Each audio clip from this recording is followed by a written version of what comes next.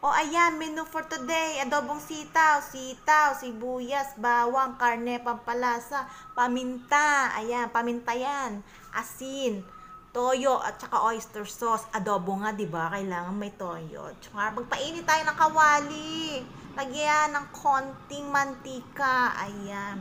Painitin ng mantika kapag uminit, lagay ang bawang. Pag nilagay mo yung bawang, ayan, sote-sote mo, char, nakakaluwag-luwag English, sote. Pagkatapos niyan, ayan, sunod mo na yung sibuyas na puti.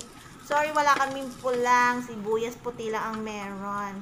Ayan, gisa-gisa lang, lagay na yung karne. Ayan, pampadagdag lasa sa adobong sitaw.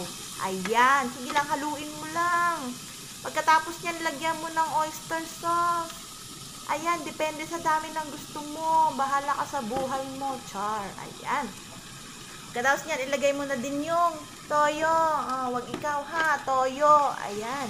Halu-haluin mo lang, halo-halo. Pagkatapos, ilagay mo ang paminta. Depende sa dami na trip mo. Bahala ka sa buhay mo, Char. Ayan. Tapos niya, ilagay mo yan ng tubig. Ayan. Tapos, halu-haluin mo lang hanggang sa kumulo.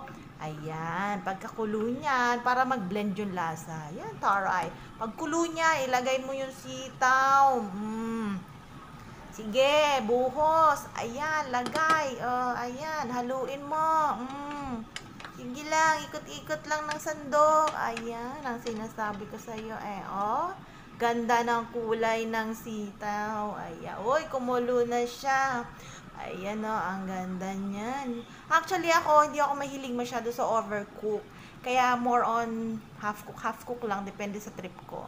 Para maganda yung lasa, lagyan mo din ng asukal konti. Kakapira ko, depende sa trip mo. Kung isang kilo, char. Ayan.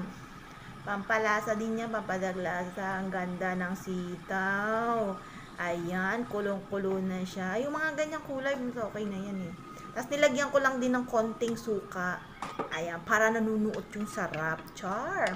Para naglalaban yung asim, alat. Ayan, tamis. Ayan. Oy, finished product na. Ang ganda. Ang sarap. Don't forget to like, subscribe, and comment.